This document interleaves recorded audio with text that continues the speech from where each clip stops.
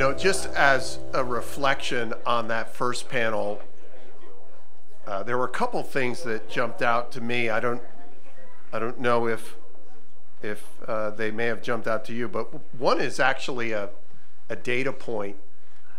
Um, California has a nonpartisan uh, policy analyst office called the Legislative Analyst Office, the LAO which essentially supports the state legislature on policy research.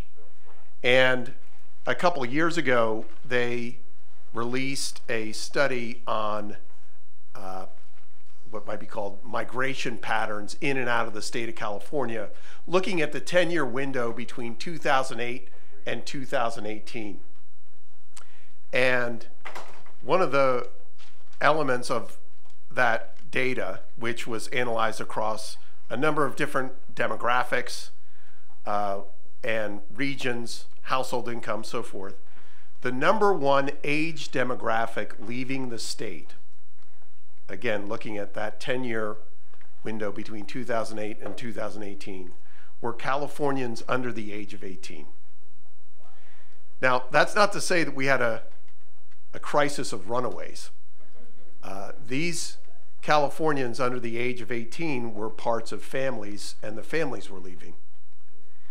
And so the discussion that we're having at the community level, they weren't just Californians, of course. They were living in particular communities, whether it was Venice or Fresno or San Diego or Humboldt County. Uh, and so the second thing that comes out of that for me is again, to understand really when we think about declining societies and cultures, is that John Doerr question. Some of you know John Doerr's work in um, management consulting and, and analysis. He wrote a book called Measure What Matters. And I hope one of the themes that comes out of both uh, today's conversations and tomorrow's is in the field of public policy, are we in fact measuring what matters? Right? So Wilson would say, in the moral sense, that there are things that we that are difficult to measure that do matter anyway. But when it comes to some of these issues, I was struck by Seth's comments in particular in talking about fragile neighborhoods and what what we know composes fragile neighborhoods. And then thinking about what both Soledad and the mayor talked about when you look at what I call kind of the Maslow's hierarchy of community. If you don't get the security safety piece right, kind of nothing else matters. But are we thinking about public safety through the lens of community or just as a data point that we are trying to reduce? And I wonder as we think about political will, if we thought more about these community based metrics and community based rhetoric around why we're making particular policy decisions, whether the discussion around issues like public safety would be framed in a different way. If we thought about homelessness really as a way, as, as a policy challenge to families and the sustainability of communities, and to the mayor's point that he has raised many times that it is a moral crisis, homelessness is. And do communities, municipalities, states have the political will to address homelessness as a crisis in which we're asking the question I care about you too much to let you die on the street? Now, that's a very community based question as opposed to a straight quantitative or technocratic set of questions. And so I hope as we move now into this panel, which is going to be, I know, a combination of both policy discussion but also philosophy and theory, that we think about the rhetorical piece of this as well. Because another word for political will is you are not winning the public conversation. You are not winning the political conversation. You may know what the policy answers are, but you're not winning the political conversation. And so, how we understand and communicate these issues, uh, I think, is an important part of this broader communitarian movement. So, without any further ado, let me bring up my good friend, also somebody who was there at the beginning, John Wood Jr. Uh, John is the national ambassador to Braver Angels. He's been a big part of the work of the American Project, now Meese Institute, uh, since we started back in 2017. And he is going to lead this next panel with some uh, great scholars looking at how we think about, describe, and discuss uh, this communitarian movement. So please welcome John.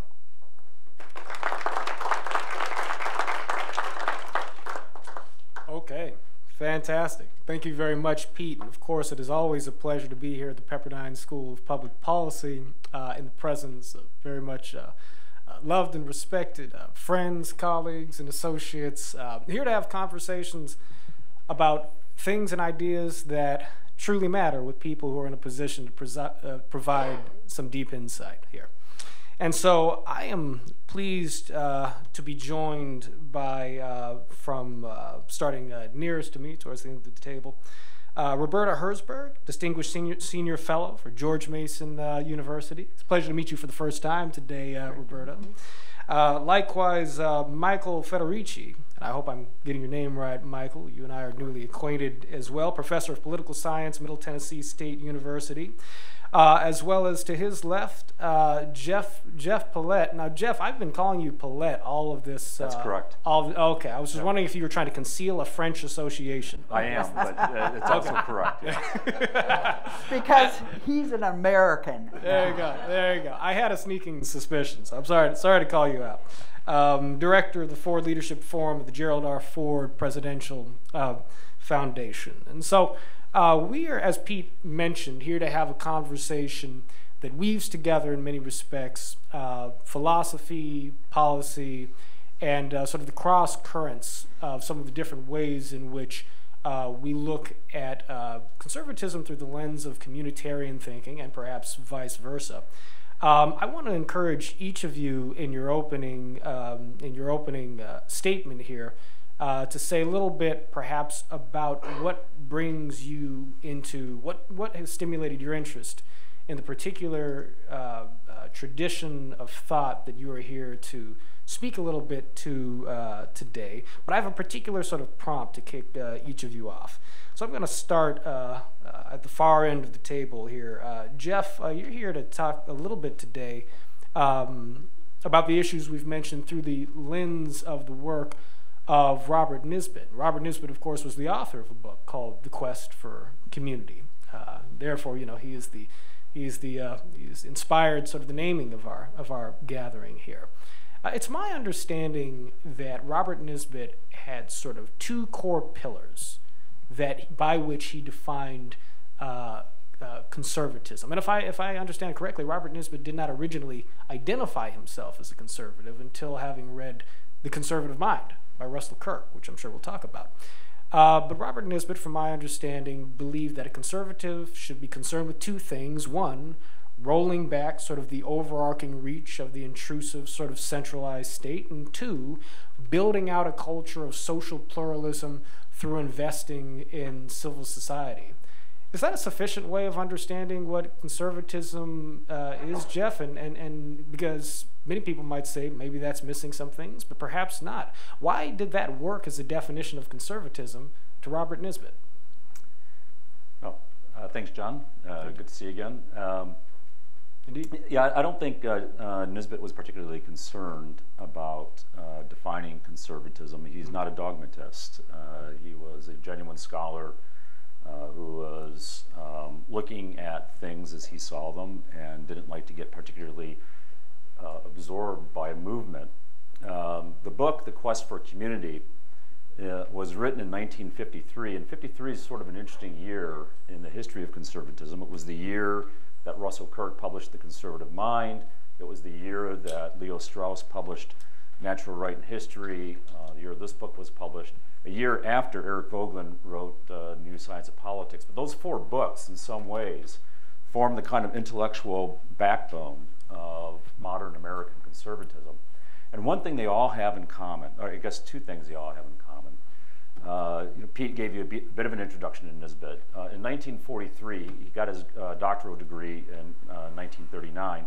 In 1943, he joined the Army and fought in the Pacific Theater for two years. Um, and then came back, uh, wrote a book or two, um, and then kind of wrote what I think is his most important book, The Quest for Community. Um, and all four of these books are, in a certain sense, shaped by the same phenomenon, and that is the uh, advent of modern totalitarianism.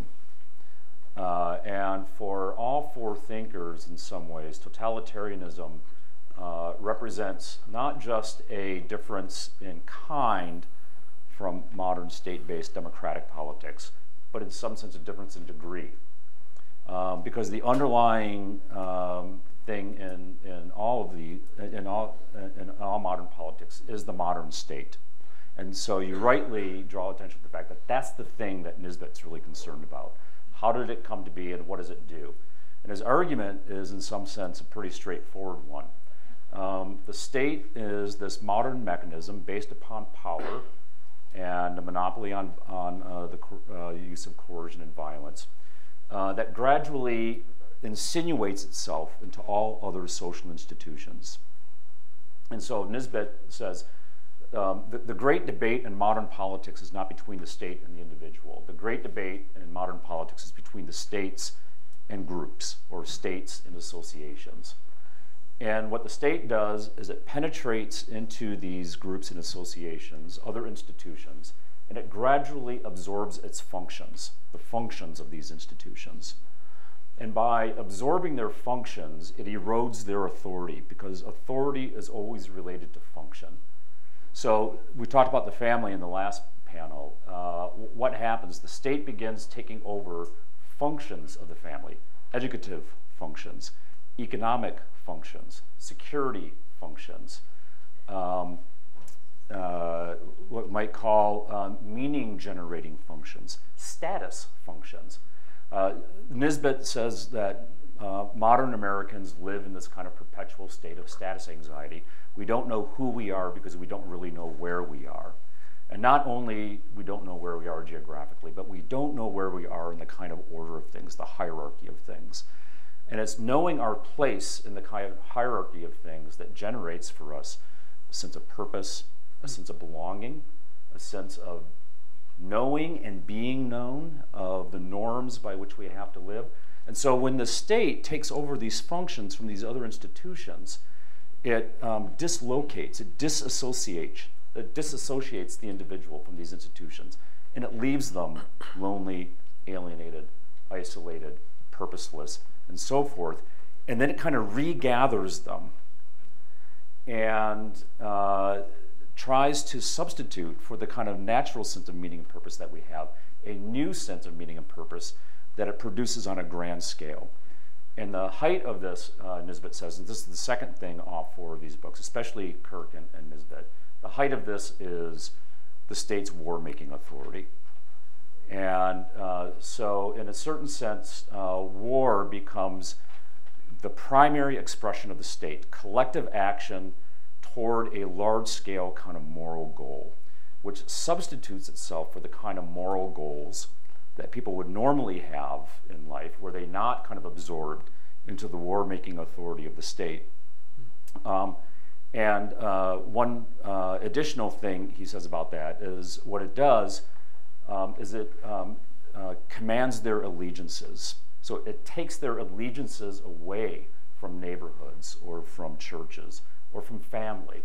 Um, and uh, it, it's like Tocqueville says in, in Democracy in America, you know, so long as it, so long as they think of it and only it, right? And it wants to be the only thing that they feel secures their, their existence. So he says uh, Americans, some Americans are libertarians, but most Americans are securitarians. Right? And they'll accept the authority of the state because the state promises them the security that it has already taken away from them by dissolving its, their associative life. Indeed. Thank you very much, Jeff. Um, and so to, to continue with our overview here, uh, Michael, I have a bit of an opening frame up uh, for you, but feel free to expand, you know, beyond the the, the scope of this initial uh, uh, question here, but you know, uh, many people, uh, you know, sort of credit Russell Kirk with uh, really being sort of the, the root of the American conservative movement, dating back to the publication of the conservative, the conservative mind. Uh, I believe that the reason we are, there's so much of the reason why we would consider Kirk so important to study in this context, in the context of this gathering, is because we are engaged, each of us, in this quest for community. And within the work of Russell Kirk, there seems to be a deep enunciation of communitarian values, the importance of civil society, these intermediary structures, and yet it seems also to me as if there perhaps are many people who would fly the flag of conservatism who may emphasize sort of a strident sort of individualism while perhaps paying precious little attention uh, to the work of community building and to sort of the communitarian kind of uh, themes of, of, of thought that, that I think uh, you might argue uh, Russell Kirk was deeply concerned with. Is that disconnect real? Am I imagining that? And if it's not real, what, what, what accounts for this? Um, what did Russell Kirk have to say that's relevant to our understanding of community? Thank you for the question, John. And first, before I proceed, I want to thank Pete Peterson for his kind invitation to participate in the conference and to Melissa Espinoza for getting me here and being so gracious in organizing parts of the conference and especially my travel. Melissa keeps the trains on time. Yes, she sure does. And the, and the planes. Perhaps the best place to start to explain Russell Kirk's contribution to this notion of community and the theme of the conference is to make reference to his book, The Politics of Prudence, mm. in which he outlines 10 conservative beliefs. And it's also important to remember that for Kirk, conservatism was not an ideology, it was a habit of mind. Mm.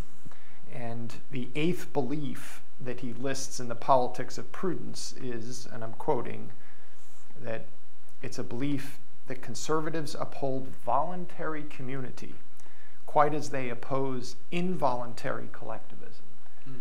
So, what Jeff was just talking about with regard to Nisbet, a tension between this tendency to centralize versus to keep alive private communities and associations is important to Kirk.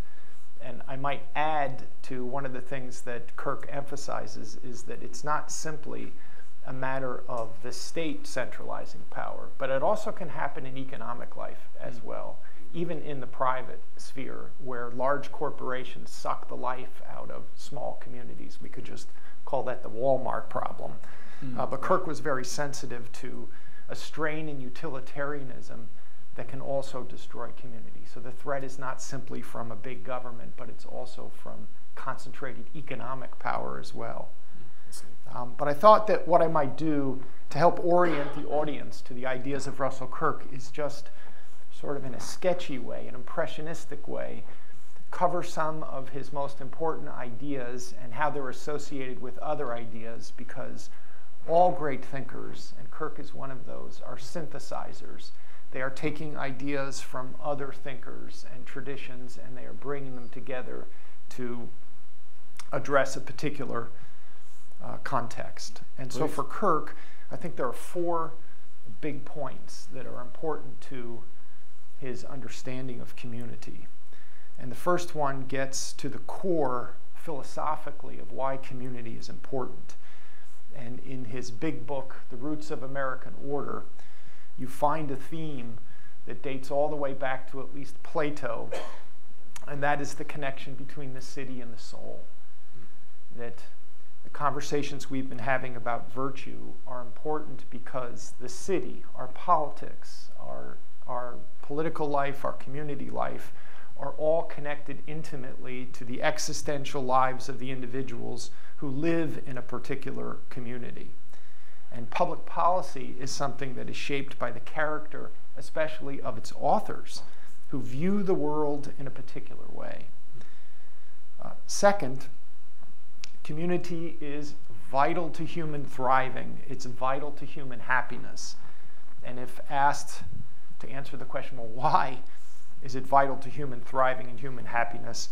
Kirk would likely point to someone like Aristotle, who begins from the assumption, based on human experience, of course, that human beings are social and political animals. There are rival ideas, of course, out there that you'd find in thinkers like Thomas Hobbes or even John Locke to some extent, Jean Jacques Rousseau. But for Aristotle, the most fundamental point about human beings is that they are social and political animals. He has two other memorable lines about this characteristic of human beings that only gods or beasts can live outside of the polis, outside of community, and that the polis pre exists man. It existed before human beings even existed. Community for Aristotle and for Kirk also depends on friendship, something that we do not talk about in politics, uh, but we should if we care about communities, because community for Aristotle and Kirk is not possible without true friendship in particular.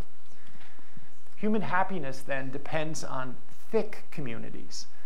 Thick communities, communities with vibrant private groups and associations, families, churches, neighborhoods, civic groups, a lot of what we heard about in the first panel. And for Kirk, community is a Burkean contract between the dead, the living, and the yet to be born. Community is a historically based thing where self identity is found in a particular tradition, not in abstraction. Third point Kirk writes that the erosion of community is the towering moral problem of our time. Erosion of community, the towering moral problem of our time. Community is important because it's where individuals find their identity. It's where they find their purpose. It's where they find their duties. It's where they're born, where they live, where they suffer, they love, they die. It's where human life is lived. And like Robert Nisbet, they were well aware that in the modern era, era, especially in the 20th century, community was losing ground to the state, to pernicious ideologies that undermined the very purpose of community in American life.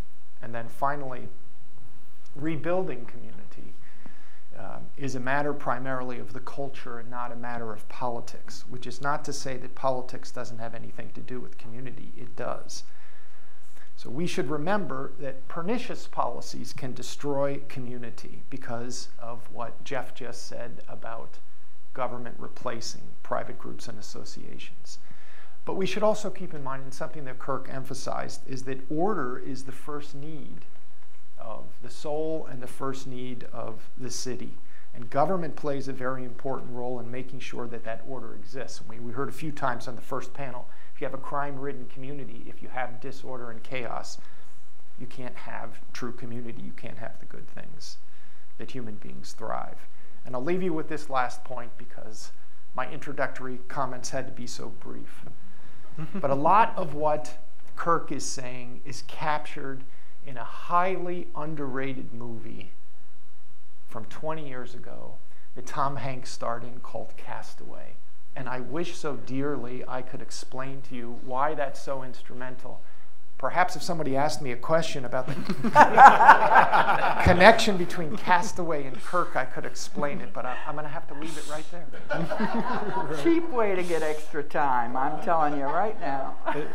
there's something to be said about fishing for a question about Castaway, yeah. actually. Uh, so let's circle back with a joke on that front. Um, okay, fantastic. Well, and and you mentioned um, uh, Michael the uh, the sort of uh, oft unremarked upon uh, value and virtue in both the teachings of Aristotle and Kirk uh, of friendship, right?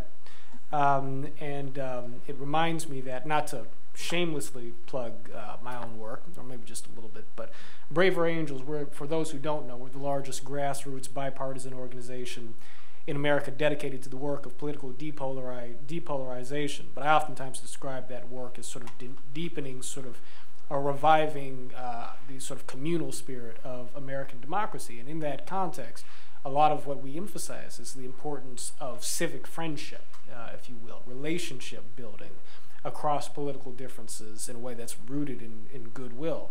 And I wonder if that, um, I wonder if, uh, Roberta, that's not potentially a reasonable segue uh, towards some consideration of the work of Elinor Ostrom. Um, because it seems that so much of what she brought to our understanding of economics and in particular how we deal with quote the tragedy of the commons and perhaps you can explain a bit for us what that means you know is the importance the sort of practical utility of proximal relationships between people and between people and the resources that they manage so perhaps you can remark upon that but uh, fundamentally i'm wondering uh, in the case of Elinor ostrom um, we're talking about a thinker who did not necessarily uh, from what I understand, self identify as a political conservative. And yet, we are here talking about her in this conference, and her work is clearly influenced uh, conservative thought. What is the connection there? Why are we talking about uh, Elinor Ostrom?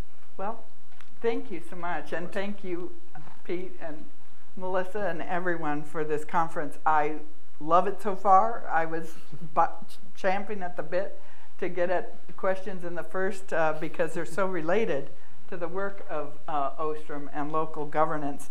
I think uh, the reason you would want to know about Lynn Ostrom and Vincent Ostrom, Vincent Ostrom might well consider himself a conservative. Uh, they were a pair, and when uh, the Nobel Prize Committee uh, phoned Lynn Ostrom to grant her the first uh, female recipient of the prize in economics in 2009, she turned uh, to Vincent and said, We won the prize. Mm-hmm. Now, Vincent was older, and, um, and uh, Lynn only had three years after that uh, to contribute uh, to our scholarship. But they very much work together. And so Lynn's work on community and she was recognized mostly for her work on governing the commons and her work on, on people solving difficult problems when working together. But they approached this as an individual. Uh, how do individuals come together to make communities and work together to solve challenging problems? The tragedy of the commons you may have heard of, I'm sure most of you have. It's if in fact we face a common dilemma, think environmental pollution, all of us will act on our self interest and we will destroy that common, whether it's the air shed or it's you know a park, it's the pasture land with putting too many cows. And what Ostrom, both of the Ostroms, but especially Lynn in, in this case, empirically noted is when they went out to look, they found people solved problems all the time that should have been tragedies, hmm. that should have been disasters. Now, they weren't nice about it. People fought. That's the one thing I'm, I love, and I can just see Lynn doing this. It was a, around the Nobel Prize. She goes, people aren't always nice. They fight with one another. But in communities, you build enough credibility with your neighbors that when you fight, it doesn't destroy everything between you. And that's what we've really lost, I think. Their work starts that I think is most relevant for this conference, not with the governing the commons natural resource tragedies, although all around the world this is a problem communities and, and neighborhoods and, and uh, common groups face. It started with work on metropolitan governance in the United States and the consolidation of those metropolitan governances, bringing all little governments together in the name of equity, in the name of solving real serious issues that had emerged in the United States coming out of the Jim Crow and all of that. So they were trying to say when people consolidate these large communities, like Los Angeles, like Indianapolis, in the name of creating greater equity across all of those little communities that had been segregated in the past due to policies, What they're forgetting is what they're breaking down in that consolidation. It does not become easier for a person of low income or an African American family to go four buses across town to deal with their political leaders. Even though their schools were worse on paper, even though their police force may look worse on paper, according to the experts, they were their police force. They were their schools. And when Joey didn't do well in school, mom could bring him by the ear down the block and say, Tell me why Joey isn't. And now, in order to do that, they had to go down to the city center. Out of this, they developed an entire theoretical structure based on polycentricity. So we live in communities, but those communities can be at different levels depending on the nature of the problem, but we never lose our own community in that. If we have big problems like air pollution, let our individual communities work together and try and create that. That was really the Ostroms. And it comes back to this notion, and I'm probably going on too long, of co production. Anyone who has ever been in a school, I assume that's all of us, we're in one now, so it is all of us, um, knows no one can teach a child who doesn't want to learn. It is co produced. Most of the things we care most deeply about are things that are co produced safety, the police, and the citizenry. If the police have to be there every time something bad happens, we will all be unsafe. And that's what we're finding today. But if we look out for each other, the neighborhood watch, if we look out, we create a lot of safety for ourselves, but we have to be supported in that. And that is the co production. And so the Ostrom said if you're going to have co productive goods, you have to let the people producing those goods on both sides have a say in how they will be produced. Otherwise, they will not commit to them, they will not be legitimate, and they will fall apart over time because they do not meet the real needs of the people on the ground. And so I think that's their greatest contribution and why you really would want to look at the work of the Ostroms on metropolitan governance and on Lynn Ostrom's work on governing the commons and institutions designed to create incentives for people to serve what matters to them, which is the communities that they live in and their neighbors. Thank you very much, Roberta. And Roberta, Michael, Jeff, I do want to encourage you guys, um, if there is something that you hear one of your co-panelists say that you want to offer a response to, or for triggers of thought, feel free to feel free to interject. Um, but Jeff, uh, you know, uh, this this this idea of polycentricity is really is really interesting one, and it makes me wonder um, if when we're thinking about you know the work of Robert Nisbet and the general sort of wisdom of the communitarian themes that we're we are exploring here. Um, you know, the, this sort of impulse to ultimately be very wary and cautious with respect to centralized power, but also wanting to sort of maximize the capacity of the social bonds within institutions and community and civil society to effectuate uh, uh, the, the, the optimal solutions to, to the problems we face. Uh, is there um, is there sort of a neat and tidy way to sort of uh, summarize uh, sort of, you know, what the lessons are from a policy-making vantage point for the different levels of government that we uh, that we have a relationship to. Is there just sort of is there a fundamental sort of piece of wisdom that we can say, you know, this is a theme that the federal government needs to keep in keep in mind. Uh, but when it comes to state governments or perhaps local governments, more specifically, there's a different set of lessons that can be drawn from the thought of Nisbet or, or, or Kirk uh, or Ostrom for, for that matter. Um, how do you think about the applicability uh, of the thought of Nisbet and these other thinkers to the different levels of government at which we operate, uh, at which we operate society? Yeah, he's an interesting thinker in this regard. Um, this particular edition of the Quest for Community is a little misleading because it has like a 1950s schoolhouse, and, you know, Sure. people driving their Packards and walking around with their fedoras. Sure.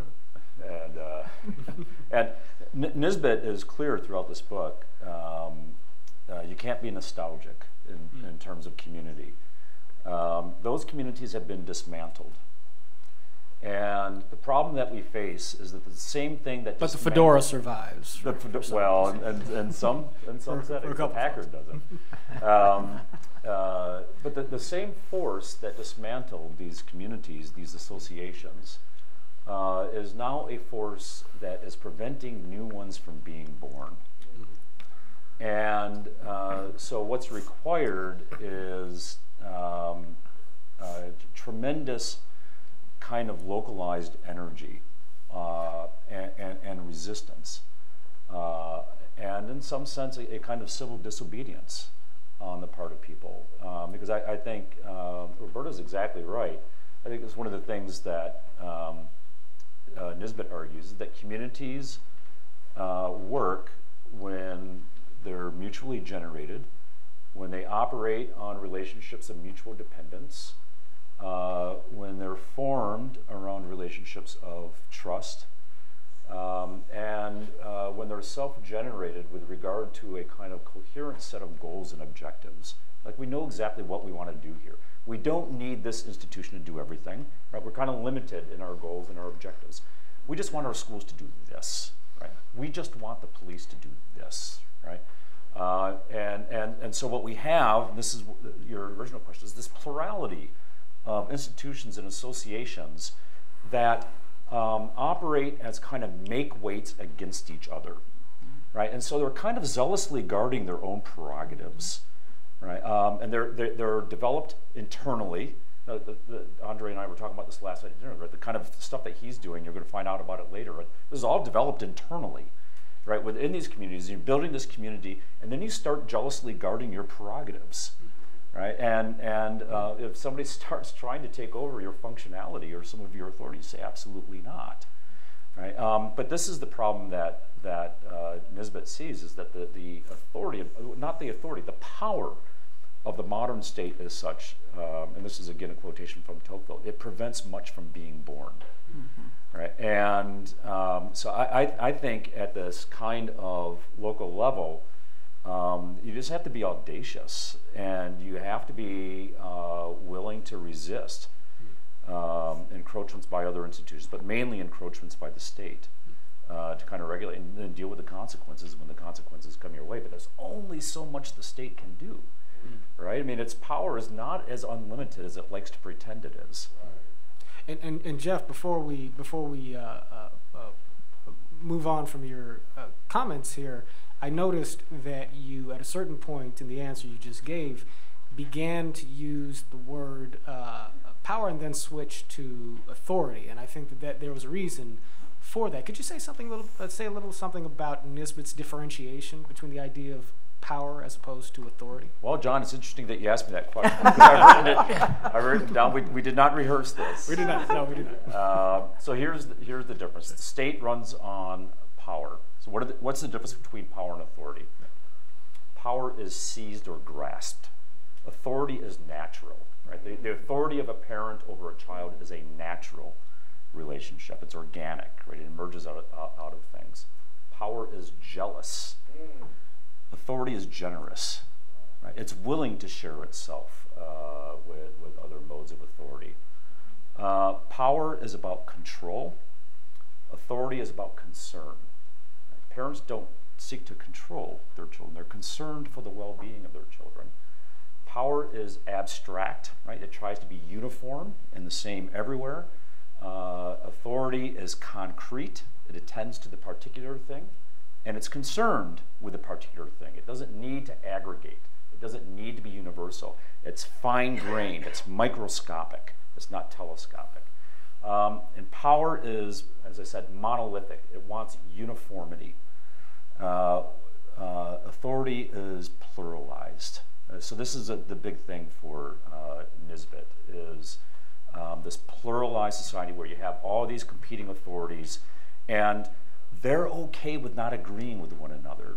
Uh, you know, so Um, we, we talked about this at dinner last night, right? You're, you're running this program and you have kids who come from this family who have maybe a different religious background or a different set of ideas, right? We don't intrude upon that, right? Because that's not your business in a certain sense. Your business is to do this particular thing, right? It's not expansive in the way that power is. Power is always expansive. Mm, indeed. Thank you, Jeff. Yep. And um, you know, for me, that uh, that con- contrasting dynamic between power and authority has a great deal of, of relevance when we think about both leadership as well as leadership in the context of building of building community. Um, you know, we're of course you know pleased to be joined today uh, by Bob Woodson the Woodson Center and Jon Ponder of Hope for Prisoners. And I know through being familiar uh, with their work that so much of what these gentlemen focus on is cultivating uh, these sort of qualities and virtues of leadership that allow for sort of the credibility of leadership to be something that is earned rather than something that is simply inherited through title or resource or you know privilege in some that's conveyed through through some other means. And Michael, I, I want to take that observation as an opportunity to invite you to remark upon the sort of Kirkian relationship to virtue, uh, and perhaps the particular particular virtues, because I think that one major part of what has been hollowed out in the political and philosophical conversation in American society today, right and left, is yes, an understanding of community, what it takes to build community and strengthen relationships, but also the internal dispositions and, and, and, and qualities of character that allow for us as individuals to build authority, perhaps, in, in, in, in sort of echoing uh, uh, Jeff's treatment of the term here, but the sort of credibility of relationship and leadership from which community and functioning institutions can spring in the first place. What does Russell Kirk have to say about uh, virtue, Michael, and how should that inform our understanding of the project of community building um, in, in our, in our uh, larger sort of work of self-government? Well, the, the quick answer is that Kirk believed that virtue was essential to community building, and he drew on the works of T.S. Eliot, who he corresponded with for a number of years.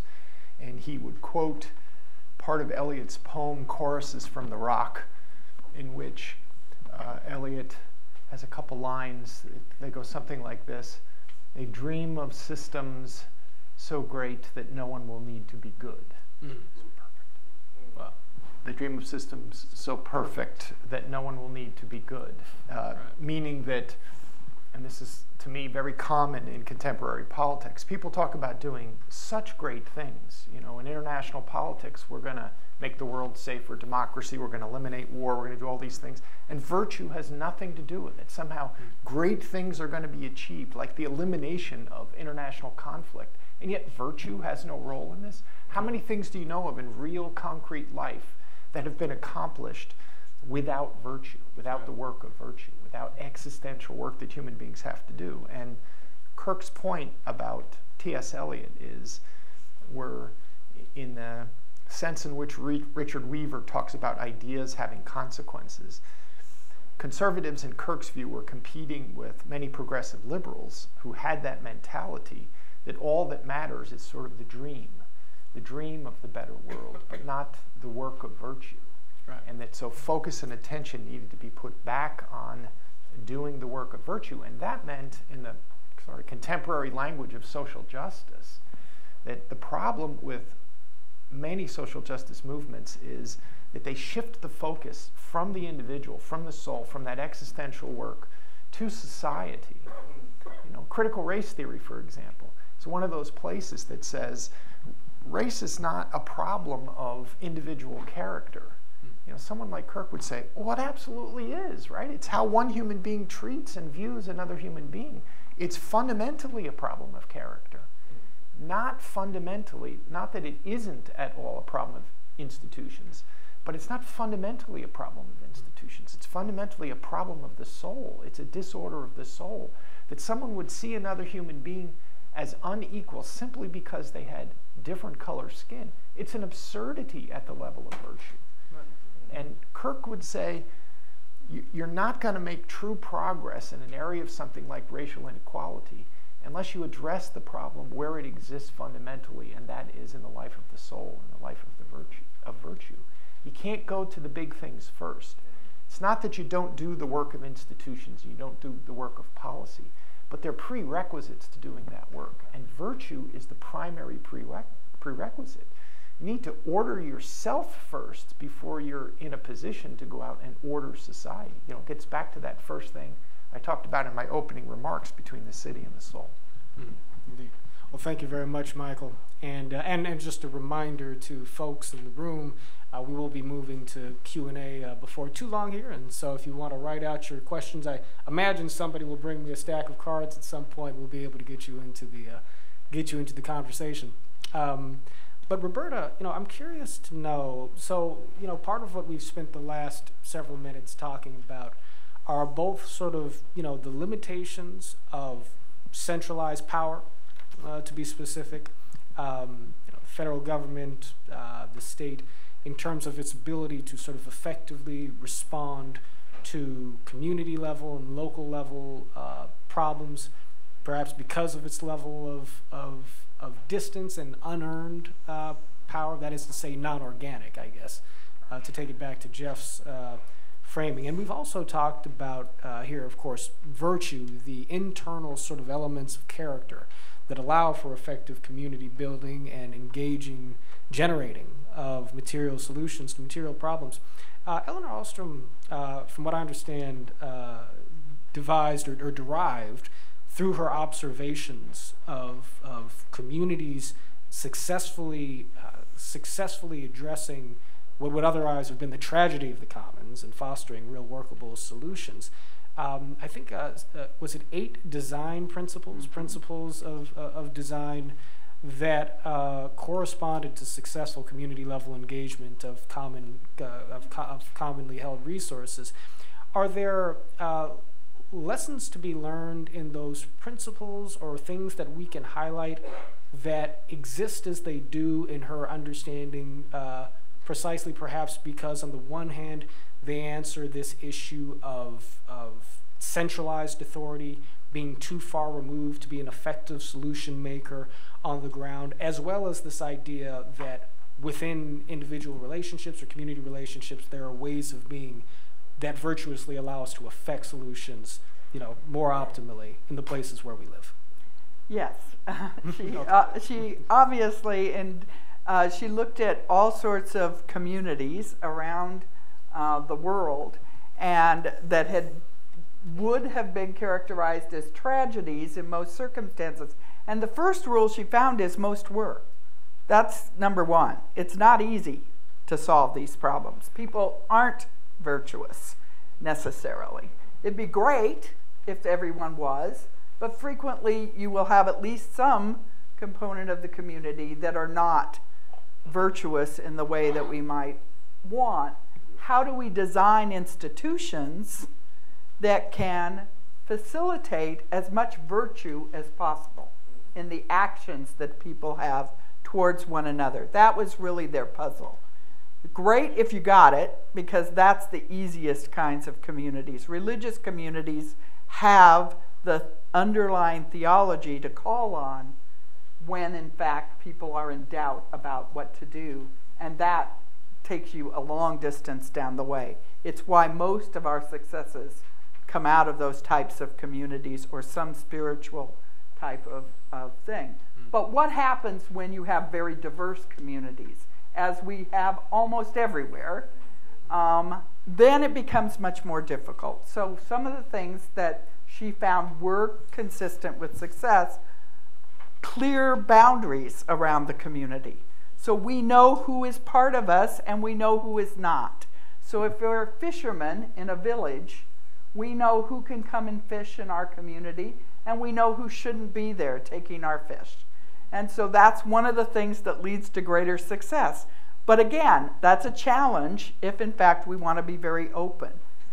A second thing that was very critical was having monitoring and enforcement mechanisms. And that's another reason why small communities do better than these very large communities, in part because it's easier for us to know what your neighbors are doing and to feel the pressure that you know your neighbors know what you are doing. That I live in Utah, And anyone familiar with Utah knows we all live in communities in Utah. You can't you don't have to be a member of the LDS church, but you are a member of a ward. Hmm. No matter what, you're a member of a ward because wards are drawn on the map. Hmm. And I was the member of the ward that had the little star next to him that said, free for the asking, go get her, you know, because it's an evangelical church, so they're always, you know, ready to bring another member Right. uh, into the fold. So when they come, but I was part of the cookie tree and I was part of the, she just had a baby, you're bringing salad and, and bread on this night because we're going to handle family obligations. We're going to tend to the kids. People tended the kids for free in Utah when I was raising my children. These are important community things that happen. And those are the types of institutional arrangements, obviously often linked to these uh, things with virtue and other undergirding culture and language, but not necessarily having that still able to try and find ways that we can build those kinds of institutions. But that means almost always keeping them very local. Mm, indeed. Now, Hey, um, John, John, if I can. Yes. Genuine communities are about belonging. Sham communities are about inclusion. Yeah. Mm, mm. Inter- interesting distinction, provocative. Um, and uh, Roberta, I, I have a I have a potentially uh, provocative question for you here too, just as a quick uh, quick Uh-oh. follow up. Um, uh, you mentioned uh, church, you mentioned religious association. Tim Carney, who I don't know, perhaps Tim isn't at our conference this year, um, but the author of Alienated America and an advisor to uh, the American uh, Project. Um, Tim has argued that while there's a very wide range of important uh, civil society institutions, that the truly indispensable civil society institution, or at least the most indispensable one, is the church. Do, do you um, do, do you agree with that as a as a strict statement? Uh, would you qualify it? How important is the church in particular to sort of anchoring, you know, uh, com- civil society and community, and allowing for us to address some of the ground level challenges that you have studied? I, I think empirically it is. Yes. There's just no doubt.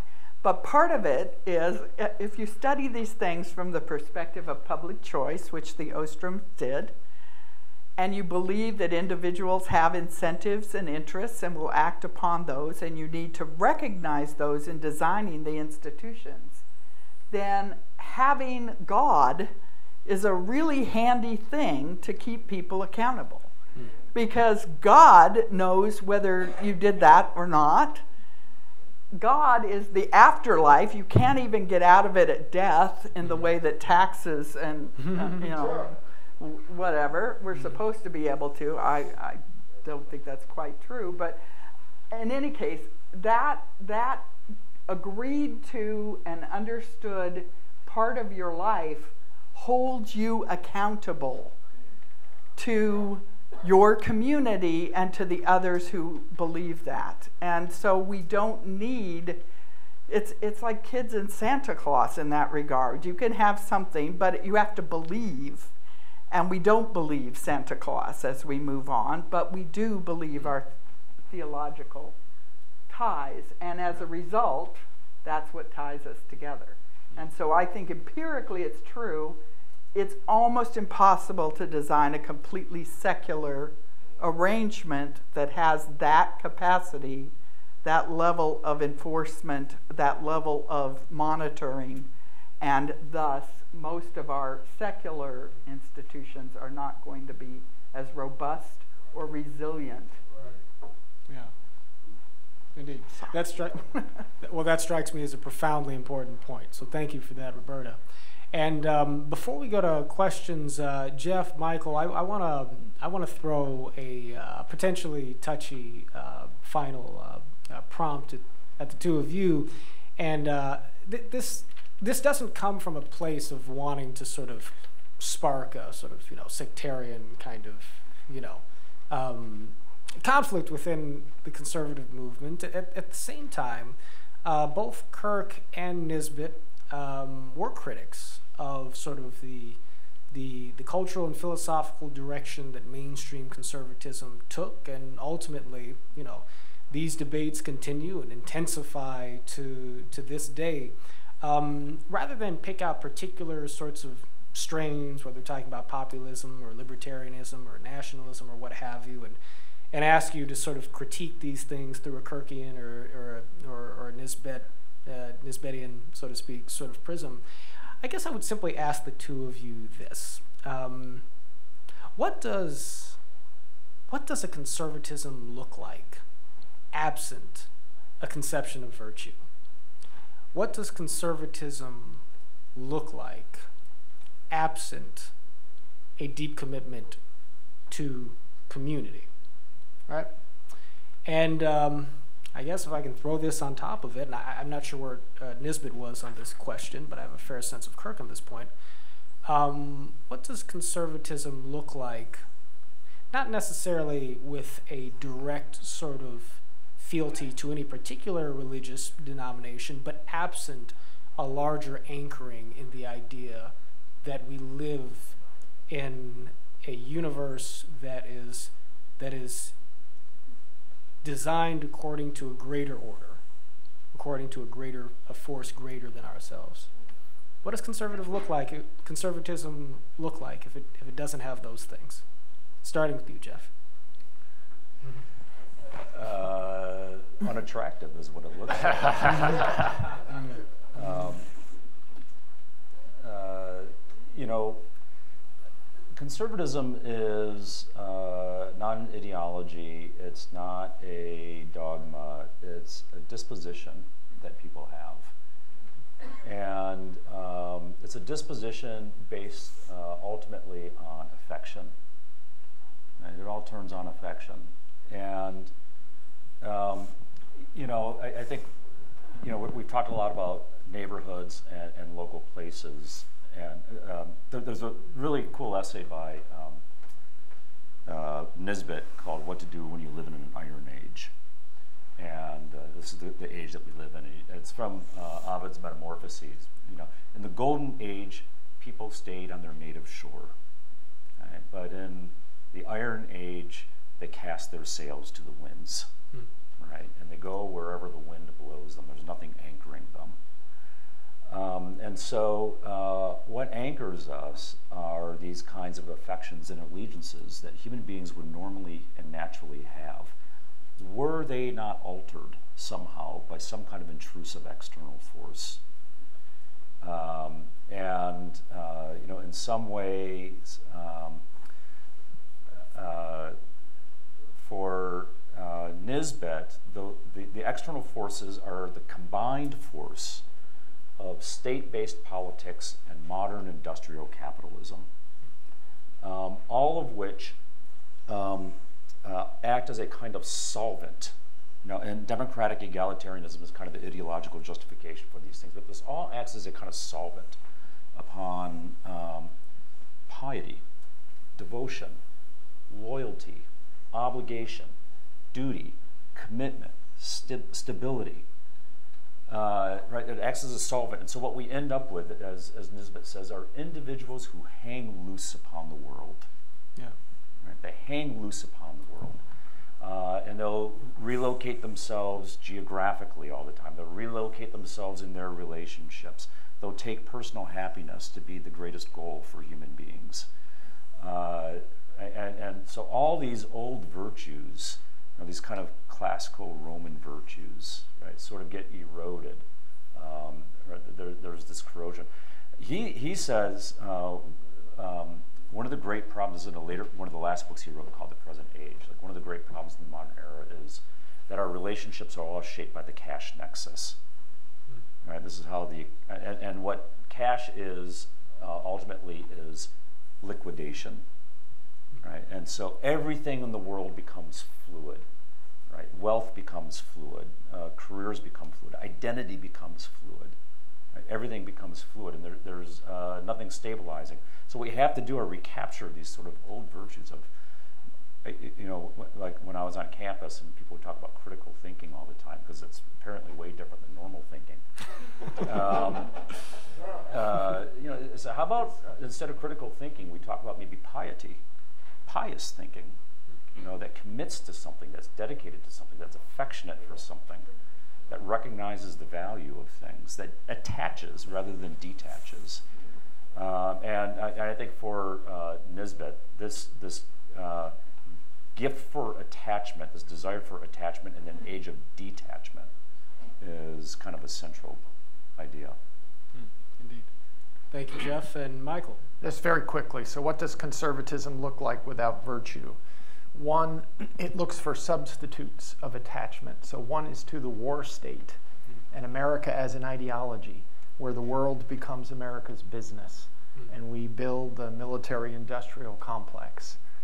Um, two, human happiness is somehow satisfied by mere economic materialism.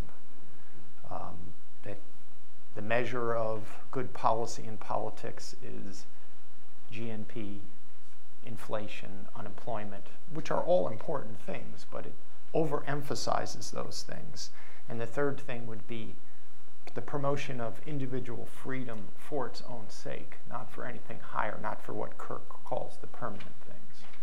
But it would be an emphasis on those three things that which in Kirk's mind would have lost their way from what matters most to human beings, like friendship. Mm, indeed. Wise and concise. Thank you, Michael, and thank you to our panel.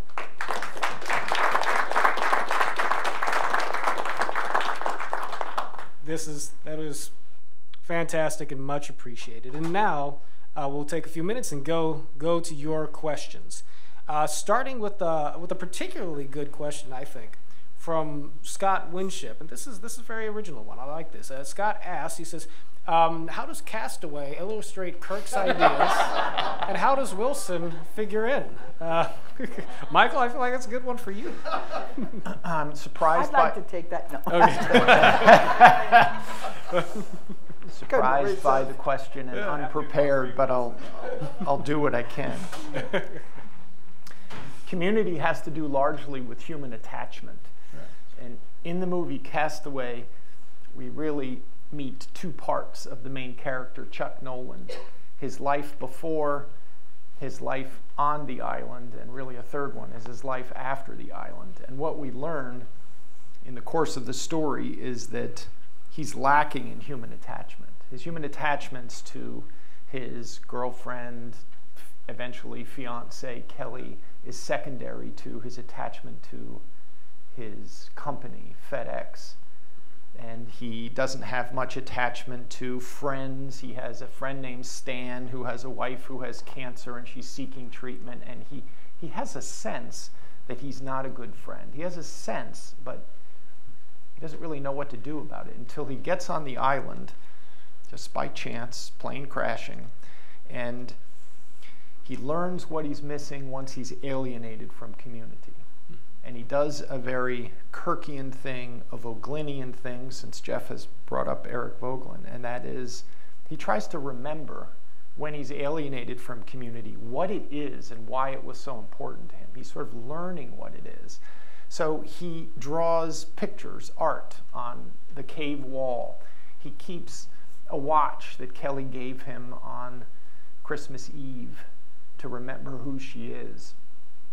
He has a package that floats ashore that he never opens up that has angel wings on it. And Wilson is maybe the impor- most important piece of them all because Wilson teaches him how to be a true friend.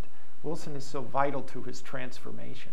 Wilson allows him to have conversations. You know, he's thinking to himself, but he articulates it to this volleyball, who is his only friend on the island in one right. sense.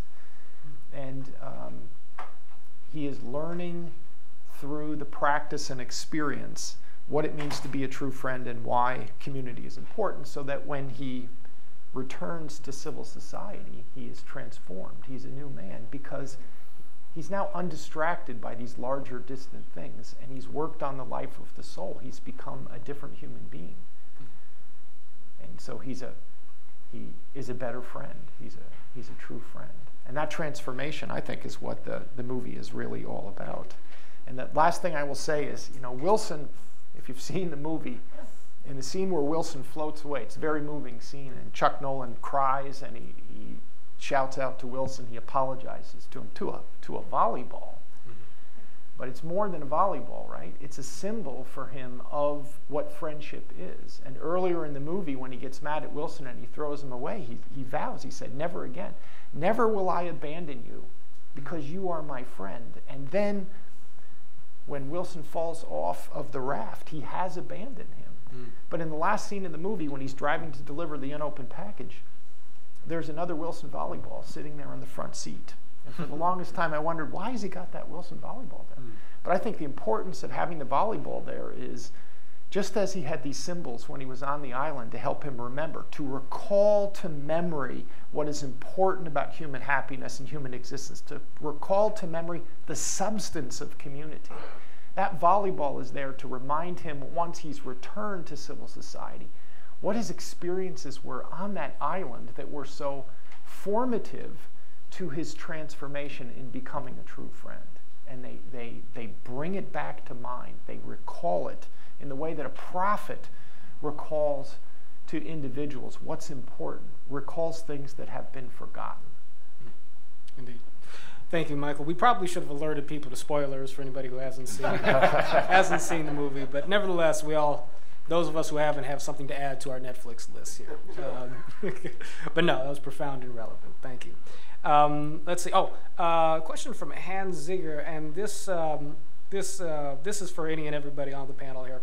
Uh, what is the significance of federalism in the thinking of Ostrom, Nisbet, and, and Kirk? I don't know if we uh, want to go down the line on that one, but does anybody want to jump up and, and field that one? Yes, Roberta. Absolutely critical for the Ostroms. Um, Vincent's work started in federalism and understanding the, and he found the American founding in Tocqueville to be the, the core documents for understanding his political theory, and Lin builds on that. The key is that's institutional design of federalism that again it has all of these individual components that we've been talking about in terms of, of virtue but how do you do that in a large diverse society we can't throw people onto the island for long periods of time till they discover this on their own so how do we build institutions that allow us to choose our communities allow us to move around and allow us to deal with what's most important to us, closest to us, so that we have choice. If the only choice is you must leave the United States, as so many people promise every time there's an election they don't like, I'm going to Canada. Well, fine, go to Canada. You know, it's all good. But that's a tough choice, and they never seem to actually go, in my experience. they never really move. They then say, No, I'm not going because I'm not going to leave. I'm going to fight another day. But we saw during the pandemic, people moved with their feet. That's the Ostrom's argument. If you can move with your feet, you can change a lot of what is important to you without having to change everything about your governing. The more we move to the upper levels of central government, the fewer our choices are in trying to craft for a diverse society. That works if you're all the same. It doesn't work if you're not all the same. So we need, we need uh, federalism to deal with the diversity of what we really value and what we care about so that we can craft those in our local communities and still live together those diverse communities uh, with one another. Thank you very much, Roberta. And so from, um, uh, oh, uh, Michael, did you have something you wanted Just to very quickly. Yeah. Federalism is an institutional manifestation of something that has already been constituted in culture. Hmm. So the framers did not go to Philadelphia in the summer of 1787 and invent federalism like philosophers in a closet. Mm-hmm. America was already a highly decentralized society and they codified it into institutions by creating federal structures. Right. Nisbet, in the present age, talks about how that decentralized culture and society was largely in existence in America until the First World War. And the First World War did a lot to change that, that culture mm. by centralizing power. Mm, indeed. Well, from, from federalism to personal responsibility, we have a question uh, here from Manuel Gomez. Uh, what role does personal responsibility play in living a life of virtue when everywhere I look, responsibility is being abdicated? And, and I, I, might add a little uh, thin layer on top of that myself by noting that, you know, we closely associate uh, individualism with personal responsibility.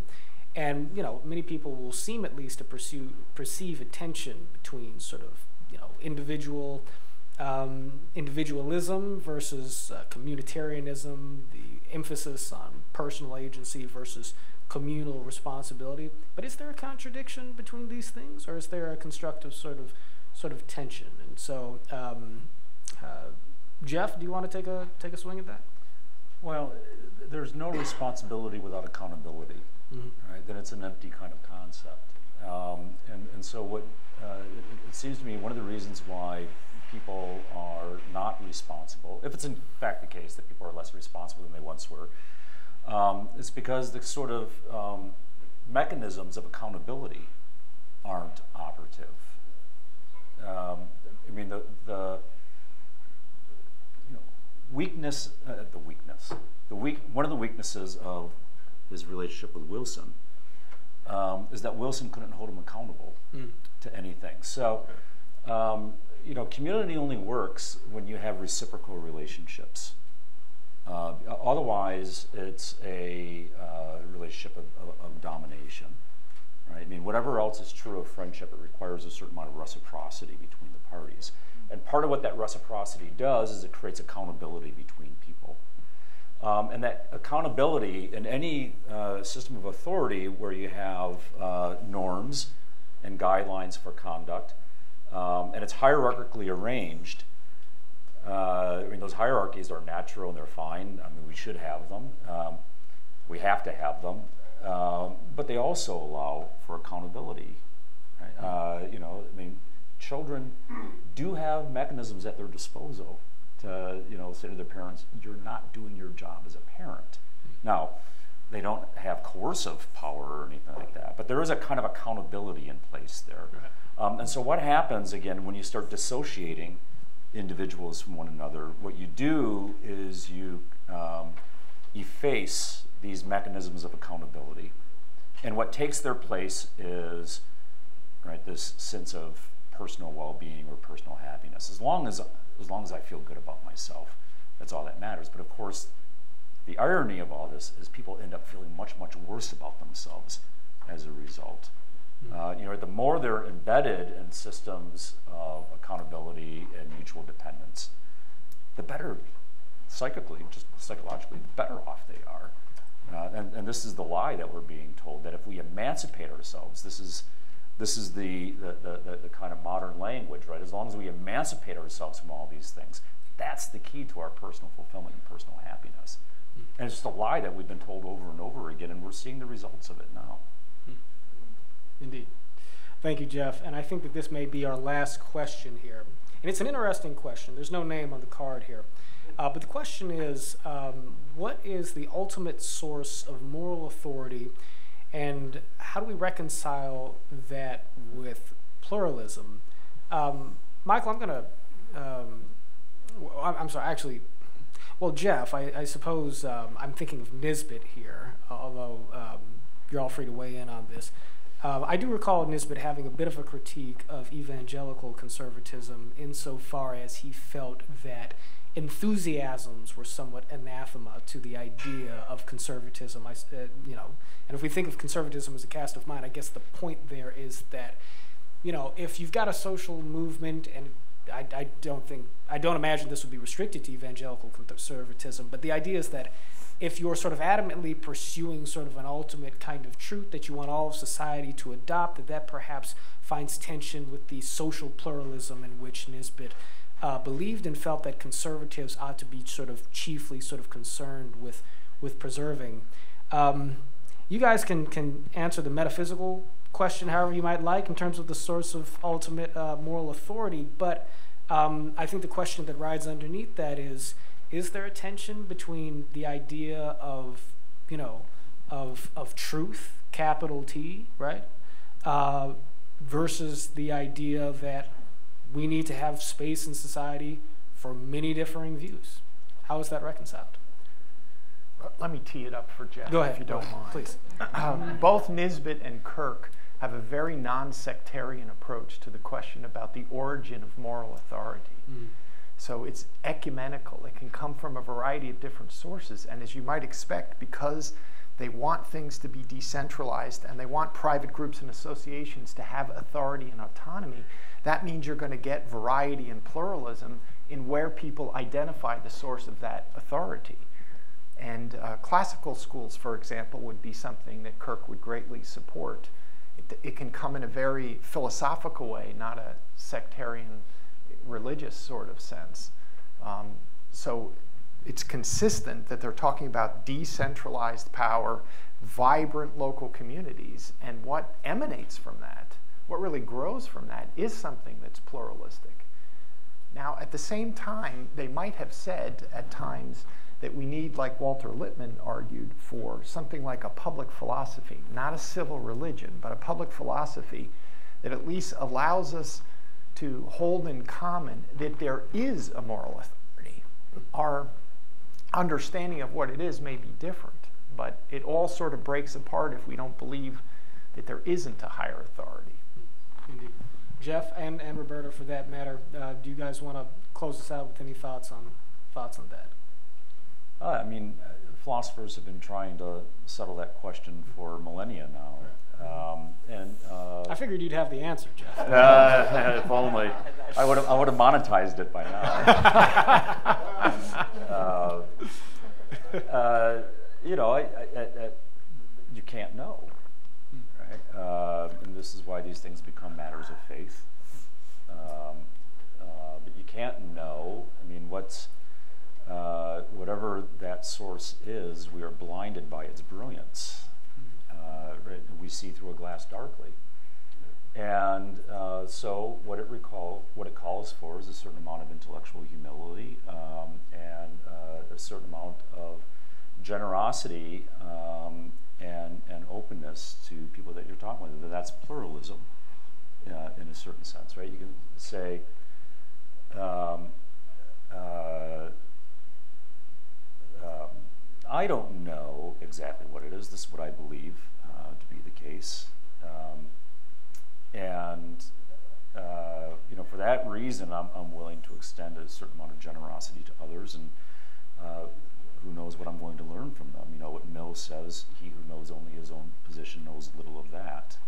Uh, so, um, you know, the, the, the, question, the, the, the question in part is what's the relationship between some conception of ultimate authority that we have and our conception of social authority? Not so much our conception of pluralism, but our conception of social authority. And that is, do, does our notion of social authority have to be grounded in a clearly identifiable particular notion of what ultimate moral authority is?